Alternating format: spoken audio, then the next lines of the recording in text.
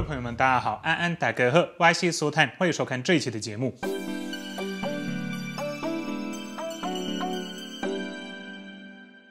首先呢，我们来聊一下廖老大的事情。这几天，如果各位有看馆长的直播，应该有看到馆长有分享一个抖音的影片，在抖音上面，廖老大说他是中国台湾人，就是台湾隶属于中国下面嘛，所以我们为什么入书记上面是这样写？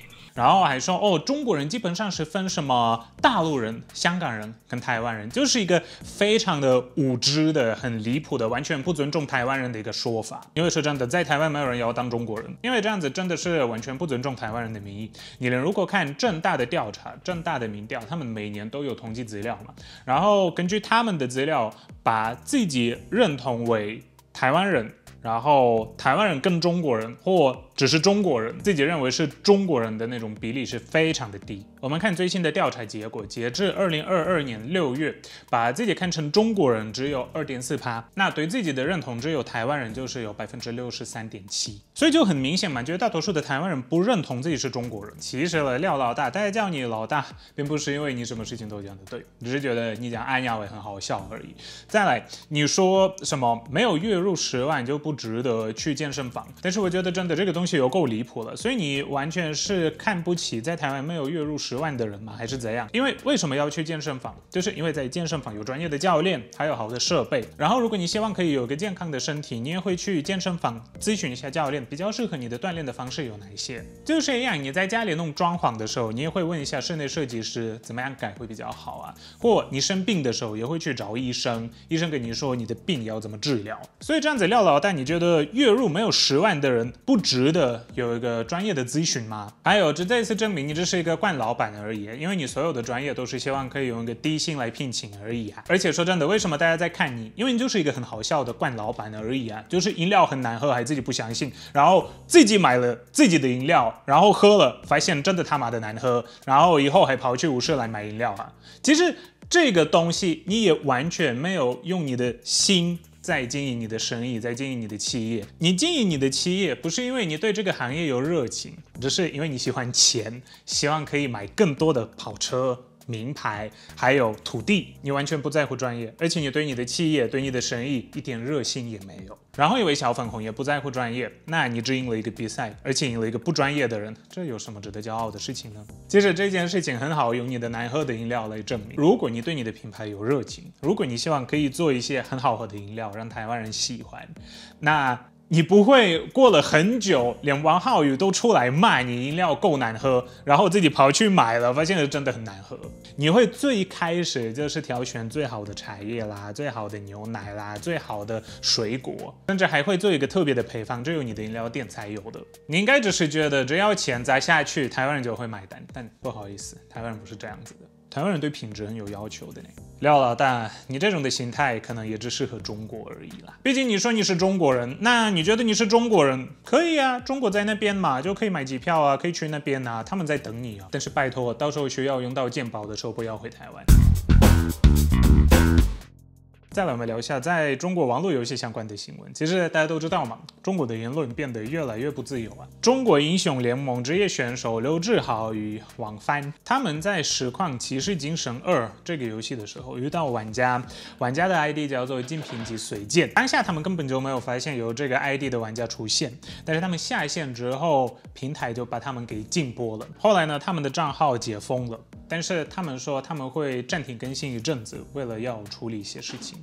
那下线之后，他们的账号却变成了一个状态，那个状态上面显示该主播涉嫌违规。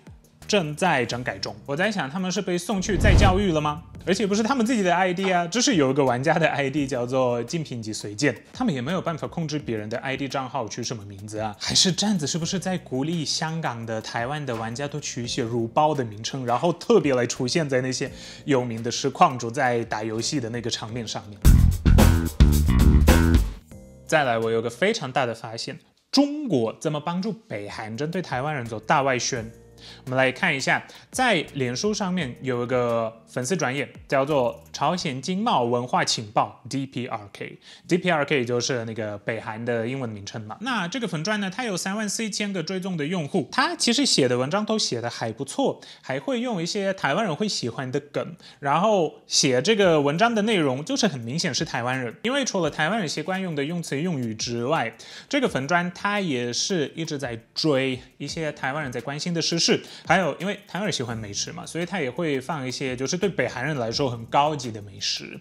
他会用一些很轻松的梗，就是台湾人喜欢看的梗，然后。用偷换概念的方式，让你对某件事情的见解变成就是对北韩来说是有利的。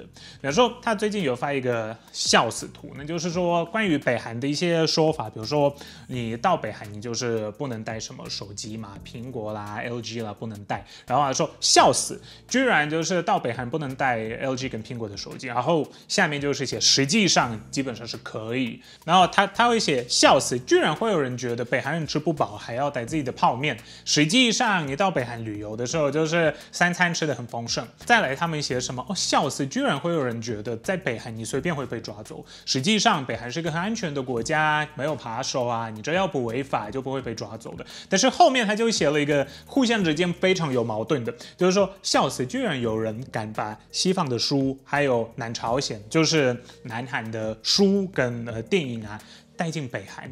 这样子你不会笑死，但是你会真的死。那这样子不就是矛盾吗？意思就是说你会随便被抓走。你说要是什么带了圣经，你是基督徒的话啊，北韩也不能带圣经嘛，你就是会被抓走嘛。那。这个东西意思就是说，好，你不要违法就不会被抓走，但是你的法律很奇怪，所以你随时都会被抓走的东西。但这样子，一般的那种看那个粉砖的内容的人，他们会有一个误解，反而对北韩产生一个好感，就是透过一些很轻松的那种宣传的方式，还会写什么笑死，居然有人觉得在北韩有饥荒，然后下面他写，实际上朝鲜目前的粮食的自给率已经高达百分之九十二，这样子你不如去相信中国是一个世界上。最大的粮食出口大国已经超越美国。实际上，北韩缺粮也是一个事实。最近他们一直跟全世界，就是透过他的那种核武的勒索，要求，比方说南韩啊、美国啦，就西方国家提供食物给他。最近他还特别派士兵到乌克兰帮助俄罗斯打仗。这士兵人数有到十万人，这个俄罗斯新闻也有证实嘛？那所以他们就是派士兵，然后要跟俄罗斯交换食物，而且北韩还承认了，就是在乌克兰东部的那些俄罗斯人，就是俄罗斯有派自己的军队，俄罗斯有派自己的士兵在那边建立一些，就是实际上俄罗斯出钱出士兵出全部的，就是让乌克兰瓦解嘛的那两个人民共和国，北韩有承认他们的独立，这也造成乌克兰跟北韩断交。那。这个国家，你还真的相信他没有缺粮？这个国家随便放几句话，你就会这样子被他骗了吗？下面还有一大堆留言说，哦，一定要去朝鲜看看呐，要多多了解什么北韩人怎么看呐，北韩人的立场是什么？哎，北韩这是一个恐怖主义国家，它就是跟中国差不多的一个心态了。那如果你这样子随便被这种的大外宣给骗了，那要么你就是真的是太崇拜维权，要么是太天真或太白痴。还有个他们在介绍北韩的那种全民皆兵嘛，就是什么。每个男人都要当十年的兵，居然下面还有台湾人写，我希望台湾可以学习北韩的经验。什么北韩的经验？你要台湾变成很大的集中营吗？北韩的全民国防经验是什么？每个人要当七到十年的兵，你等于除了军人之外，在国家没有其他的专业了了。那你要学习这种的经验，要让台湾变成那个全世界最大的集中营嘛？跟北韩一样嘛？那首先呢，我们看一下，其实还蛮多台湾人被这个粉砖给骗了。我们看，呃，他们对这个粉砖的想法是什么？你看这。这些我有查过，这些都是真人账号。西方偏颇报道充斥，有朝鲜经贸文化情报 DPRK 的正向资讯，带我们原理加消息，充分了解真朝鲜。还有这个人，听媒体乱讲的朝鲜，不如来这里真正了解朝鲜，值得推荐的地方，让一般民众了解朝鲜当局立场和社会主义，棒。哈。在自由世界活得不耐烦了，想晋级中营嘛？那你就去朝鲜啊，去中国啊，他们在等你啊。通过文字说明、相片图画，了解到以美国利益观点所报道的差异。美国利益，美国的利益跟价值就是什么？是民主啊，自由，普世价值。北韩的利益是什么？奴化民众嘛，把国家变成集中营，就是这样子的价值而已啦。再来，我们来看一下，就是这个粉砖背后到底是什么东西？其实它有放一个在台北市的地址，他们是在忠孝西路一段五十号十五楼至十三。在台北市，那还有一个市话，你可以去搜寻这个室内电话，就可以找到。其实，啊，它是一个跟中国有关的杂志社的电话。那那个杂志社叫做东北亚论坛。东北亚论坛，我们其实可以看一下那个东北亚论坛实际上是什么东西呢？它有百度的文章，基本上就是一个共产党的一个机构嘛。它是创刊在呃一九九二年的时候嘛，然后是一个吉林大学主管，吉林大学与吉林大学东北亚研究中心联合主办的政治、军事、法律综合性的学术期刊。东北亚论坛呢？他们呃，他们的理念是什么？他们的理念当然就是跟中国共产党有关系。他们就是坚持中国共产党的基本路线，以马列主义、毛泽东思想为主导，贯彻百花齐放、百家争鸣的方针，为促进东北亚地区的国际合作交流、经贸发展和友好往来的服务，为建设有中国特色社会主义。事业服务，所以基本上这是一个什么？就是大外宣，中国共产党背后是中国共产党跟中国的那些资金、学术单位啦，都是跟党有关系的，在台湾合法经营，在台湾就是拿那些中国人的钱来帮台湾人洗脑，就是很夸张的。他们已经是不只是帮中国说话，他们已经是帮北韩说话。而且说真的，各位以外交的角度来看。这种的国家跟他的那些所作所为，看现在在乌克兰在打仗，俄罗斯侵略乌克兰，北韩全力的在支持俄罗斯，然后北韩这个国家，它就是靠中国跟俄罗斯才能生存的一个一个集中营嘛，一个国家嘛，一个政权。你们觉得这种时候，台湾要跟这个地方？做外交嘛，他在最关键的时刻，你觉得他会跟台湾合作吗？不可能嘛，因为他的生存都是依靠中国跟俄罗斯，他一定是会跟中国跟俄罗斯站在一起的。然后你们台湾人要现在去支持一个这种集权地域吗？你们觉得盟友会这么看待台湾呢？盟友会看到台湾人在那边说要跟北韩做外交，他们会有什么样的想法？台湾人好骗吗？还是台湾人崇拜维权？台湾是一个可靠的盟友，还是不是？所以我觉得各位拜托，不要被这个东西骗，因为它也不是一个北韩政府的代表机构，实际上它是中国政府的代表机构，就是很明显嘛，连北韩的大外宣都是中国人要做，因为北韩没有能力也没有钱做。像是某个台湾高中老师的粉专也有分享了他的其中一个梗图，我看到这个分享的时候，我的警报器就响了，我觉得。不行，这个一定要讲，因为这个真的是太危险。然后台湾人就那么容易被一个集权政府给骗了，然后当然是背后又是中国嘛，那当然哪一次没有中国？所以就是台湾人这样子被一个轻松搞笑的图，会很轻易的改变自己原本的想法嘛。所以我觉得这个东西一定要跟大家讲，你们一定要注意，你们在分享什么东西，你们在看什么东西，有时候背后有大外宣。有时候背后就是中国，就是北韩，就是俄罗斯那些奇奇怪怪的国家。那最后我来跟大家分享另外一个还蛮好笑的影片。其实大家知道洪秀柱嘛，那就是一个资深台监嘛。